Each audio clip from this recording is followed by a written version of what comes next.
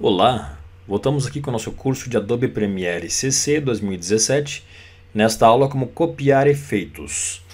Como assim copiar efeitos? Exemplo, vou pegar aqui ó, eu vou inserir aqui algumas imagens, tá? Ao invés de inserir uma por uma, eu vou inserir todas ao mesmo tempo. Então eu vou selecionar todas elas ao mesmo tempo e eu vou inserir, ela já traz todas elas com um tempo pré-determinado e uma atrás da outra bem certinho, ó. Ok? Pode ver que ele veio, ele trouxe da forma da do jeito que você selecionou. Se você, digamos, selecionar, eu quero, por exemplo, esta, esta, esta, esta e esta, e arrastar,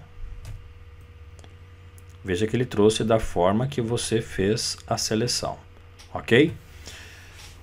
Bem, se a gente olhar aqui, ó, quase todas as cenas elas estão menores, né?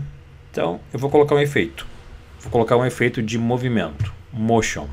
Então, eu vou dizer, como nós já vimos no motion, que ele vai começar por um reloginho aqui na, na escala, ele vai começar, por exemplo, vai começar assim, não quero que apareça vazando, e eu quero que ele termine, então lá no finalzinho do tempo do vídeo, vamos por um keyframe, então adiciono o keyframe, ele vai terminar um pouquinho maior, ó, vai terminar com o tempo assim.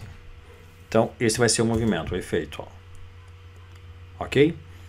Para não precisar fazer para todas as demais fotos esse mesmo efeito, eu vou copiar o efeito. Como é que eu copio o efeito? É muito simples.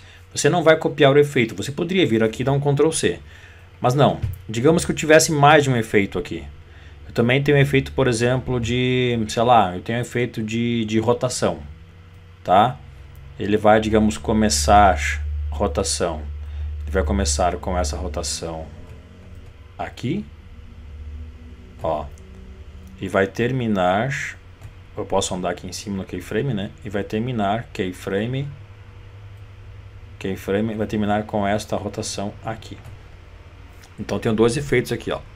Eu tenho um de zoom e um de rotação e poderia colocar outros outros tipos de efeitos aqui.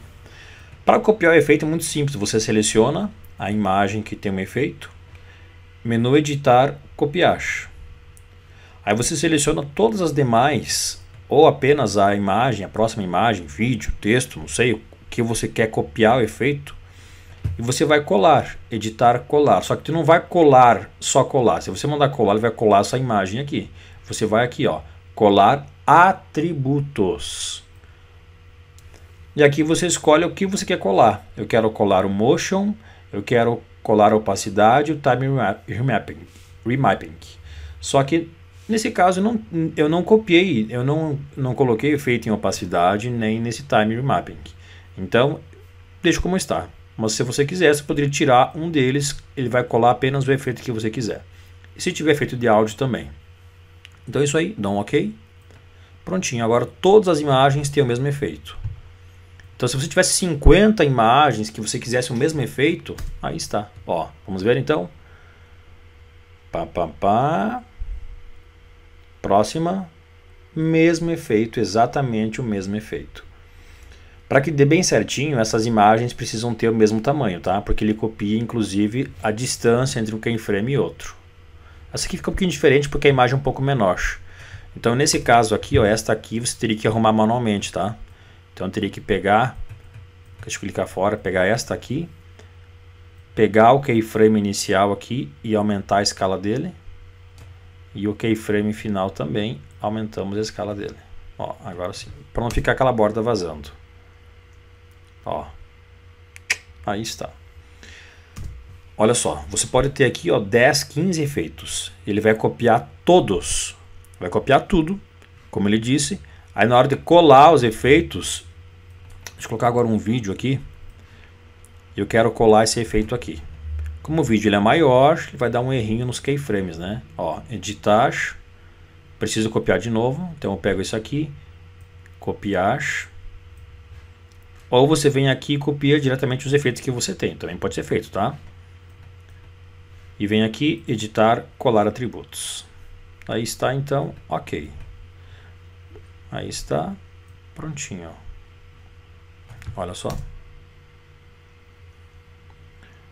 Ah, mas por que, que ficou a borda vazando? Porque as nossas fotos eram maiores do que esse vídeo. Então o zoom que foi trabalhado no efeito fez com que ficasse no máximo desse tamanho aqui. Então, a gente teria que pegar aqui e aumentar o tamanho da escala, se a gente quisesse. Mas, mas é dessa forma que você copia e cola efeitos aqui dentro. Então, se você tem um efeito que você achou muito legal e você quer aplicar esse mesmo efeito para outras imagens, outros vídeos, outras fotos, textos, enfim, o que tiver aqui na sua timeline, você copia e simplesmente manda colar atributos, ok? Aqui nós temos o remover atributos, onde você remove, eu quero remover, por exemplo, o motion, a opacidade, tu remove somente alguns atributos que você deseja. Mas é isso aí, facílimo. Certinho? Então é isso aí, veja você agora no nosso próximo tutorial.